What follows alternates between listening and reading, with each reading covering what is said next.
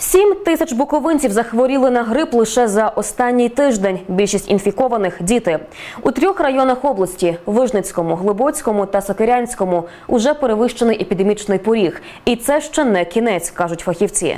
На коли чекати пік недуги, знає Мар'яна Боднарюк. Юрій із Вижницького району уже другий день під крапельницею. Коли хворів востаннє, вже й не згадає. Тепер про домашнє господарство та роботу змушений думати на лікарняному ліжку. Прийшов додому, температура, кашель. Звернувся до лікарів, зразу положили, сказали, що грип.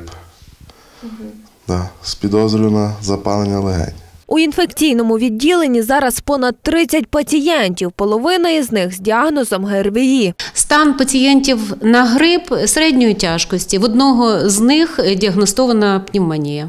У лікарні залишаються лише ті, у кого ускладнення від грипу, решту відпускають додому. А таких пацієнтів за день чимало. До нас в інфекційне відділення, в приймальне відділення звертається, ну, можливо, десь 8, 10, 12 пацієнтів е, з скаргами на підвищення температури, слабкість, е, першіння в горлі, насморк, головний біль.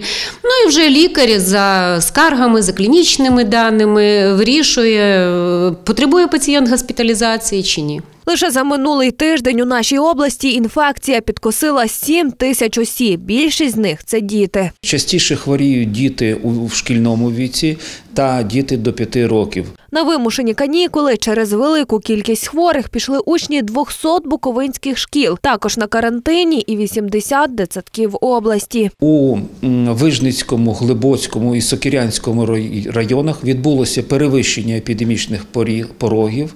Е, Там е, показники захворюваності є високими. Лікарі радять прислухатися до свого організму. Якщо у вас погане самопочуття і раптово піднялася температура, це уже перші дзвінки вірусу. не йти на роботу, залишитись вдома, звернутися або до сімейного лікаря, або викликати швидку допомогу.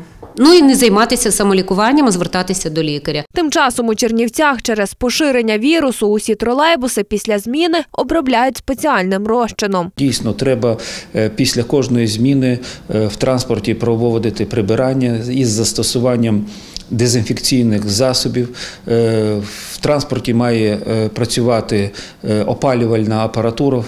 Транспорті має бути чисто і тепло. Уже наступного тижня епідемологи чекають піку захворювання. Як показує досвід минулих років, кількість хворих на грип почне зменшуватися наприкінці лютого. Мар'яна Буднарюк, Максим Демко, Чернівецький промінь.